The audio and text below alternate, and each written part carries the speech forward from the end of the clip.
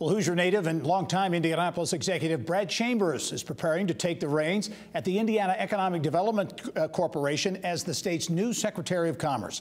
He is a private sector entrepreneur who founded apartment developer and real estate investment firm Buckingham Companies more than 35 years ago, actually while he was still a student at IU.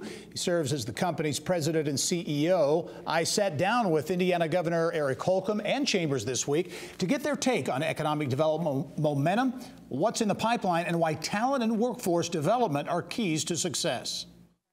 Governor, I know uh, you are, have a lot of interest and I know are very excited about this $500 million approved by the legislature READI initiative, which is really focused on, on quality of place and talent and around the state of Indiana communities. Talk about, in your view, the importance uh, of this initiative and how it can make a difference in Indiana. Yeah, it could be the difference uh, for each community. I'll be speaking about this tomorrow um, in uh, Spencer, uh, Indiana. I'll be down in Evansville speaking about it later this this week as well. And it's all it's all about you know like from an Indiana realtor's perspective, making sure your house is in order when guests come. And you never know who's going to be in your community or who's looking around to create their opportunity. So it's making sure the house is in order, making sure it's a place where people want to live, where people want to work. We know that working regionally is kind of the X factor factor in this. And so we're willing to, as a state,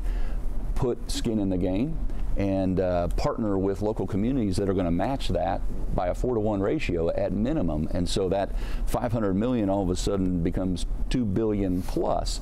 And we've had a we've had some experience with this. So this is about seeking out project um, worthy um, efforts, not just project ready efforts. So we're really trying to get people to think big, bold, and regionally so that opportunity um, when it comes, you're ready. Yeah, and it's about talent too, right? It's that, about that talent, attraction, retention, uh, grooming. It's about our universities. It's about more research and development coming here.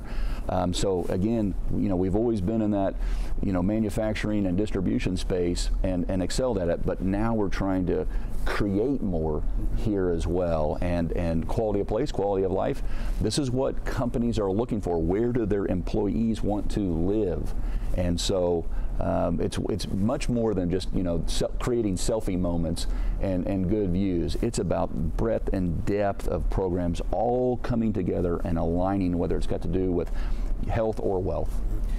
Brad, Indiana's had some a number of economic development successes, but coming out of the pandemic and this this challenging time, uh, as you look at it, does Indiana's uh, profile, if you will, or attractiveness mm -hmm. uh, change uh, for right. the better, maybe right. potentially coming out of the pandemic? Yeah, a couple things. Number one, wow, what a great job this governor has done coming out of the pandemic. I mean, we are strong, we are lean, mean fighting machine, and we are leaning into that with his leadership.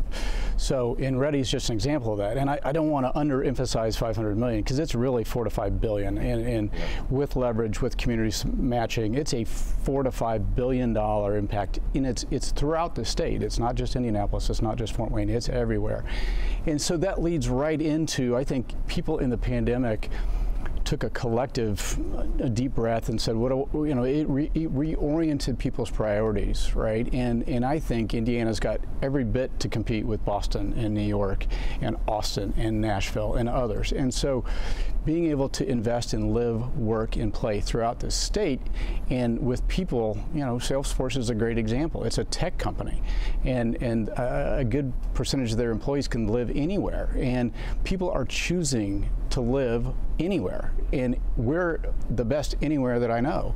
And so um, I, I, think we're in a really good position, not only fiscally, but from a leadership perspective, a creative uh, perspective, and we're leaning into our, our creative economy. So it's a pretty exciting time. Yeah. Governor, you uh, and your predecessors have put a, a, real focus on, on global economic development, sure. if you will, yeah. and with success. We saw the Toyota announcement, $800 million, 1,400 additional jobs.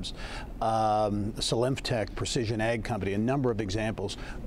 How do you will you look at global, international uh, investment and jobs going forward? Well, I've I've uh, last month uh, traveled around the world and, and we'll continue to do that and, and even increase it. We'll, we'll grow from the inside out and the outside in and we'll continue to take our expertise to the world and, and uh, bring that back here. Uh, onshore uh, opportunities right here in Indiana. We tripled our foreign direct investment um, just uh, on on my watch. So we had good momentum when I came in, but we really accelerated that, and and that all again. I'll start where you know I'll, I'll return to where I started and say that this this um, economic landscape has created uh, a lot of opportunities for us. We just made, you, you, coming out of this last legislative session, we made record investments in K through 12. We made record investments in our infrastructure projects all over the state of Indiana. We paid down debt. So again, as the Secretary said, we've arrived in a much stronger position. So those folks who are anywhere in the world, if they're looking for a, a place of, of, of growth, and they're looking for a place of certainty and stability and predictability and continuity, it's Indiana.